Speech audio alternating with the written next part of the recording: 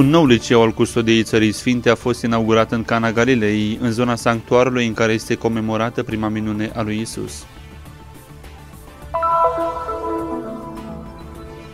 Aproximativ 200 de tineri creștini din Galileea s-au adunat la Nazaret în ziua sărbătorii lui Hristos, Regele Universului, pentru o zi de împărtășire. Pe zidurile orașului vechi din Ierusalim sunt instalate statui de gardieni din diferite perioade istorice. Acestea vor ghida vizitatorii prin intermediul aplicațiilor și a codurilor QR. Muzeul Israelului găzduiește în prezent o expoziție a artistei Sigalit Landau care creează sculpturi prin cristalizarea sării din Marea Moartă. Rugăciune, dialog și caritate, misiunea francescană de pe insula Rodos.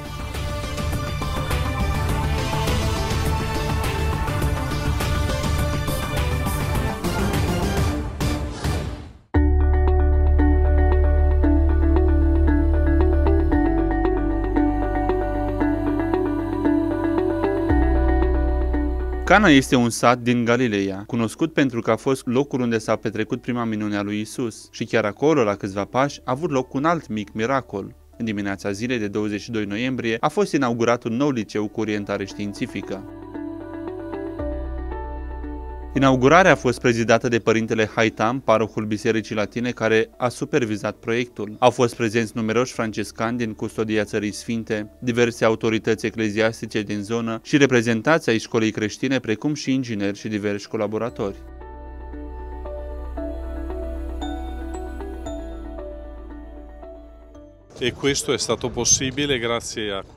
Acest lucru a fost posibil și datorită a două contribuții majore. Colecta din Vinerea Mare, un ajutor care vine de la creștinii din întreaga lume, care se face tocmai în Vinerea Mare, și ajutorul special din partea Ungariei datorită programului lor de sprijin pentru minoritățile creștine. Per le minoranze cristiane e in modo speciale anche per i cristiani di Terra Santa. Datorită solidarității atâtor creștini, în special maghiari, școala din Cana va primi deja aproximativ 300 de elevi începând cu anul următor. Părintele Francesco Paton a subliniat că studenții nu vor fi pregătiți doar pentru universitate, ci și pentru viață. În plus, fiind aproape de parohie, spațiile vor fi folosite pentru cateheză și pentru primirea inoriașilor.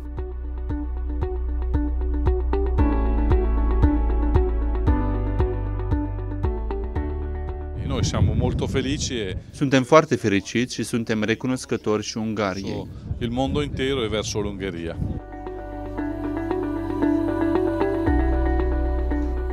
Secretarul de stat maghiar, domnul Tristanas Bej, a subliniat că acest proiect nu este destinat doar să sprijine creștinii din Orientul Mijlociu, ci și să fie un fel de mulțumire din partea guvernului nostru față de ei. Un alt motiv, a continuat Asbej, este acela de a proteja minoritatea creștină de violențele și amenințările care au afectat țările din Orientul Mijlociu în ultimii ani. So therefore, the best and most efficient way Cel mai bun și mai eficient mod în care putem sprijini pe toată lumea, indiferent de persoană sau religie, este prin intermediul bisericilor. Acesta este un lucru pe care guvernul maghiar îl susține cu tărie și de aceea lucrăm împreună cu autoritățile bisericești, inclusiv cu custodia franciscană a Țării Sfinte. În zilele premergătoare inaugurării, Părintele Haitam ne-a arătat toate spațiile, sălile de clasă, curtea interioară, terenul de sport, gimnaziul, birourile administrative și laboratoarele de fizică și chimie. Quindi siamo qui per creare Suntem aici pentru a crea acea bucurie, acea bucurie pe care Isus a creat-o în proclamarea din Cana, care a dus de la tristețe la o bucurie infinită. alla gioia infinita فنحن نأمل لكفر كنا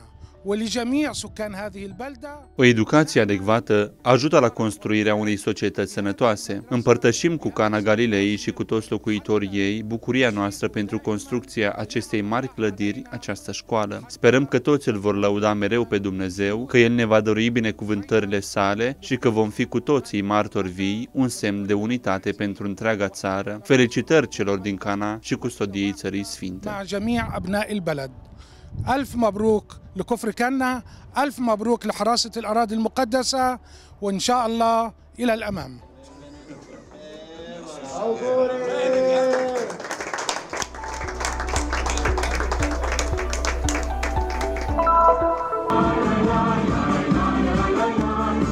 Pe 19 noiembrie, aproximativ 200 de tineri din diferite asociații și comunități catolice din Galileea s-au adunat la Nazaret pentru o zi de împărtășire cu ocazia sărbătorii lui Hristos Rege. Întâlnirea a fost promovată de Vicariatul pentru Israel al Patriarhiei Latine din Ierusalim. Mă bucur foarte mult pentru această primă întâlnire a tinerilor din Nazaret. Îi cer lui Dumnezeu ca tinerii din Țara Sfântă să fie vii și plini de speranță și de credință în acest pământ care are nevoie de ei. Ziua a început cu o întâlnire introductivă, cântece și un moment în care fiecare comunitate și-a prezentat istoria și carisma pentru a crea o armonie între participanți și a dezvolta un sentiment de apartenență comună. اللي كثير حبيته بهذا اللقاء انه لقيت فيه كثير شباب اللي هي بتمثلني كأنا كأشرف Ceea ce mi-a plăcut a fost că am găsit mulți tineri care mă reprezentau ca un creștin care se caută pe sine și pe creștinii de aici. Uneori, un tânăr se rătăcește și nu știe cu adevărat unde este locul. Am văzut că acesta este locul meu, adică tineretul انا creștin. بشوف بالضبط انه هون هاي هي محلي وهون انا بنتمي ل- للشبيبه Școala Saraziană Don Bosco, de unde se poate admira întreaga panorama a orașului Nazaret, a găzduit cu entuziasm această întâlnire a tinerilor. بقى نحن اللي بنريد الشباب يحسوا انه بيت دون بوسكو وكل كنائسنا وبيوت Vrem ca tinerii să simtă că această casă a lui Don Bosco și toate bisericile și casele noastre sunt casele lor, deci sunt bineveniți. Cel mai important lucru este să trăim adevărata bucurie care vine din inimă și din relația cu Isus, iar al doilea este să trăim în pace. يسوع والنقطة الثانية انه يعيشوا بسلام Părintele Rames Tual a ținut o prelegere la sărbătoarea lui Hristos Rege, abordând întrebarea lui Pilat către Isus. Deci, tu ești rege? وفي نهاية الموضوع الروحي كان السؤال شخصي هل أنا بس La baza reflexiei mele spirituale se află o întrebare personală. Îl întreb pe Isus, ești rege? Vreau ca Isus să fie regele vieții mele? Și dacă da, sunt obligat să fiu prezent în biserică și în viitorul ei. Cea mai mare provocare pe care o avem astăzi este cea a tinerilor care sunt departe de biserică. أكبر تحدي إحنا بنشوفه اليوم هو بعد الشباب والصبايا عن الكنيسة La finalul zilei, vicarul patriarhal latin pentru Israel, monseniorul Rafik Nara, a prezidat Sfânta Liturghie. În omilia sa, a spus că suntem norocoși pentru că Isus este regele nostru, un rege diferit de cei puternici ai pământului, un rege care a spălat picioarele ucenicilor săi. يا شباب يسوع بيحبنا Dragi tineri, Isus vă iubește și ne spune ca la începutul Evangheliei lui Ioan, veniți și urmați-mă, nu doar pentru a deveni preot sau călugăriță, ci vino și urmează-mă ca bărbat, un bărbat căsătorit, inginer, doctor și tâmplar. Nu trebuie să căutăm prea departe. Cartea noastră este Evanghelia în care găsim vocea lui Isus Hristos. Isus m-a învățat multe lucruri. M-a învățat să mă bucur de orice lucru mărunt. Mi-a amintit să mă bucur de toate harurile pe care mi le-a dat. Să iert și mai presus de toate, m-a învățat să ne iubim unul pe altul.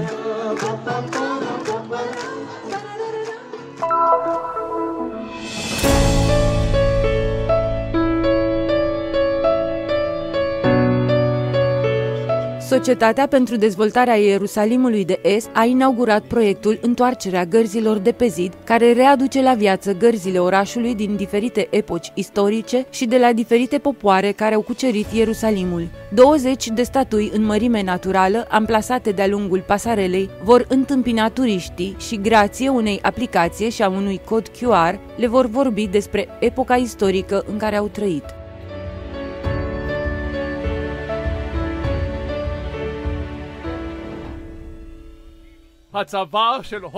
Armata maestății sale, regele Angliei. După 40 de ani de dominație turcă asupra Israelului, britanicii s-au întors în Țara Sfântă. Personajele au fost reconstruite și portretizate prin cercetări amănunțite privind îmbrăcămintea lor și realitatea în care au trăit. הפרויקט הזה הוא ייחודי והוא ראשון מסוגו. אה, אנחנו התחלנו וכרגע סיימנו... Acest proiect este primul de acest fel din țară. În prezent am terminat prima secțiune, de la poarta Iafa până la poarta Sionului. A trebuit să fim gata cu cea de-a doua secțiune, de la poarta Iafa la poarta Damascului, între februarie și martie 2023. אה, זה הולך להסתיים איפשהו לקראת פברואר-מרץ 2023. Primele ziduri din jurul Ierusalimului au fost construite pe vremea cananeenilor, în urmă cu aproximativ 4.000 de ani. Zidurile actuale datează de pe vremea sultanului otoman Suleiman Magnificul, în urmă cu aproximativ 500 de ani. În partea de sus se află pasajul de gardă, un sit al patrimoniului mondial UNESCO. O vizită pe ziduri oferă o experiență unică, în timp ce peisajul orașului vechi și modern se desfășoară în fața ochilor dumneavoastră. Un turist vizitează parcul Emura, repetând versete din Biblie despre dragostea lui Dumnezeu pentru Ierusalim. They are nice. And, and then I look at... Sunt foarte frumoase, este foarte emoționant. În Biblie se spune că străinii vor construi zidurile Ierusalimului, iar acești străini sunt turcii, cei care au făcut-o. It were the Turkish people who did that. Turismul în Ierusalim și-a revenit după coronavirus. השנה הזאת, בחגים היהודיים, מתחילת ספטמבר ועד סוף סוכות, עד, עד עכשיו, הגיעו לירושלים. Anul acesta, 3 milioane de turiști au vizitat Ierusalimul în timpul sărbătorilor evreiești de la începutul lunii septembrie până astăzi. Aproximativ 25% dintre vizitatori și turiști provin din străinătate. Cred că Ierusalimul este o veste bună pentru turismul din întreaga lume. Există viață după coronavirus, există turism după coronavirus, iar noi vedem acest lucru cu ochii noștri. שיוצאת כעת מירושלים לכל העולם. יש חיים אחרי הקורונה, יש תיירות אחרי הקורונה, ואנחנו רואים את זה קורה. העיר העתיקה, שטומנת בחובה כל כך הרבה היסטוריה. Acest oraș antic are o istorie islamică, o istorie creștină și o istorie evreiască. Are o suprafață de numai un kilometru pătrat, dar între zidurile sale se află cartierul islamic, cartierul creștin și cartierul evreiesc. În cele din urmă, un singur lucru îi unește. Toată lumea iubește Ierusalimul și cred că asta reprezintă zidurile. וזה מה שאני חושב החומה מסמלת.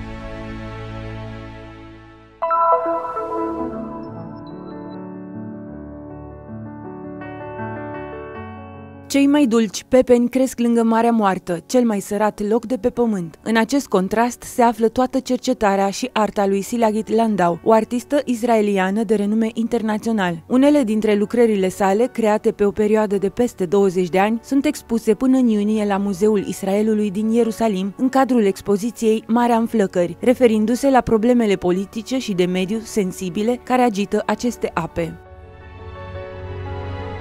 The force of life Forța vieții, forța zahărului vine din sare, din această forță a naturii care este moarte, dar și conservare, vindecare. and also healing.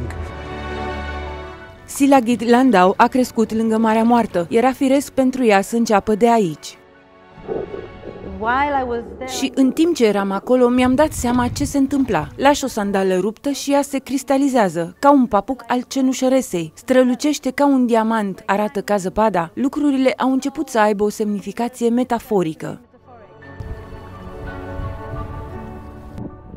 În cele mai fierbinți zile de vară are loc cristalizarea. Tot anul mă pregătesc pentru acest moment și când vine, intrăm în interior.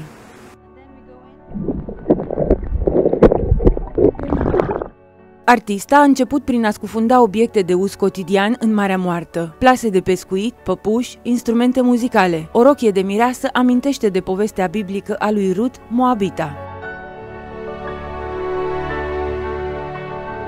This is barbed wire. Aceasta este sârmă ghimpată. Am crescut în apropiere, în Ierusalimul de Est. Aici nu mai este ceva periculos, nu mai este ceva care divizează oamenii, ci din potrivă, ceva care poate uni. You can connect people. Connecting between life and death. Legătura dintre viață și moarte, dintre rană și vindecare, dintre frumusețe și catastrofă, toate aceste elemente se leagă în opera sa. Elements connect in her work. Această cercetare stă de asemenea la baza proiectului unui pod care, este visul lui Silagit, va uni malurile israelian și iordanian ale Mării Moarte, atât fizic cât și ca o colaborare pentru salvarea acestui ecosistem unic. I'm making Am creat un model de pod plutitor care se află în mijlocul Mării Moarte. Îl poți vedea, poți nota spre el. Am vrut să creez ceva care să dea speranță. O punte ca și arta. Arta mea este o punte. Cred că toată lumea se poate bucura de ea, o poate înțelege și asta este o cale care poate conecta oamenii.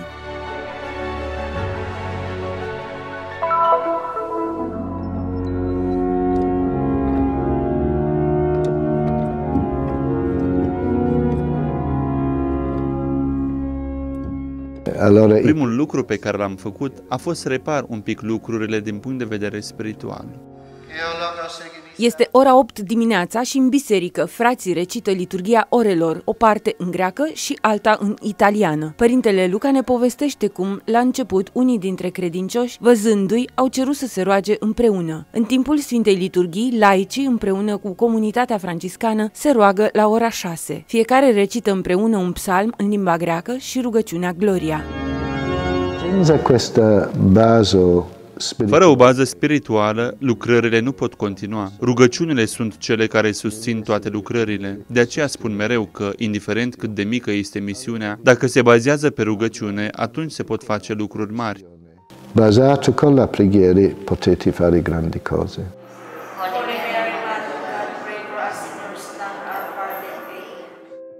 Prima biserică pe care am vizitat-o și unde am fost găzduiți a fost Sfânta Maria a Victoriei, situată în cartierul Neohori. Aici se celebrează zilnic Sfânta Liturghie și tot în acest loc se întâlnește adesea comunitatea. Complexul include mănăstirea franciscană și casa de oaspeți, unde sunt găzduiți în mod frecvent religioși și voluntari. Tema ospitalității foarte dragă Sfântului Francisc este de asemenea un aspect special al misiunii Rodos. Io ricordo questo proprio del noviziato, questo dell'accoglienza ospitale. Din perioada de noviciat îmi amintesc cuvântul primire, ospitalitate pentru celălalt. Este foarte important că, în calitate de frați, suntem o imagine a păcii. Pentru a-i primi pe oameni, trebuie să fim deschiși la cultura lor și să-i facem să se simtă ca acasă. aperto alla loro cultura e farli sentire a casa. Afară, părintele Luca, ca un bun franciscan, îngrijește câteva animale și cultivă grădina. Cu produsele pe care le obține, el contribuie atât la reducerea cheltuielilor mănăstirii, cât și la ajutorarea celor mai nevoiași, cum ar fi copiii și femeile însărcinate. Tutto gratis, non chiediamo mai soldi. Aici totul este gratuit, nu cerem niciodată bani. În timpul liturgiei cer alimente, șampon, pastă de dinți, pentru că este important ca oamenii, cu generozitatea și dorința lor de a da și de a face, să doneze lucruri practice, să dea ceva concret acestor oameni săraci. E mettere qualche cosa concreto per questi poveri. În fiecare marți, de la ora 6 dimineața până la prânz, sunt donate aproximativ 700 de pachete cu produse de primă necesitate și pâine proaspătă. Ei vin din toate părțile insulei, deoarece acest mic cadou acoperă cel puțin două sau trei mese pe săptămână. E la gioia di questo non potete immaginare Este o bucurie. Nu vă puteți imagina cât de fericiți sunt, pentru că nu punem întrebări. Celor care vin, li se dă. domanda. Chi viene è dato. Come stai? Bene, grazie a Dio, bene. Relația cu Biserica Ortodoxă este de asemenea importantă. De la sosirea sa, fratele Luca a participat de la distanță la toate ceremoniile și sărbătorile lor. Sosirea episcopului ortodox Kirilos pe insulă a schimbat lucrurile. Poi dopo qualche anno După câțiva ani, a început să mă invite să merg la el acasă și după 18 ani, astăzi, îi cunosc pe toți și ei mă cunosc pe mine. Me. E questa è una cosa. Este un lucru frumos și măreț, pentru că mai presus de orice există spiritul de fraternitate în numele lui Hristos. În nome di Cristo. Cu ocazia ultimei sale călătorii în Rodos, părintele Francesco Paton, custodele Țării Sfinte, ne povestește despre întâlnirea fraternă cu excelența sa Nataniel, mitropolit de Kos și Nistiros. È stata un'occasione anche per andare, benedire i luoghi restaurati.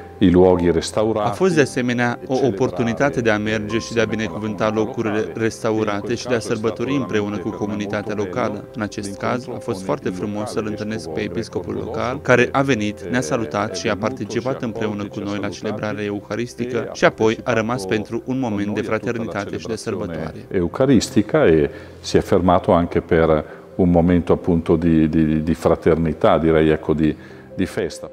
Suntem aproape de finalul călătoriei noastre în Rodos, iar în episodul următor vom face cunoștință cu parohiile franciscane și cu laicii care susțin misiunea custodiei în acest ținut.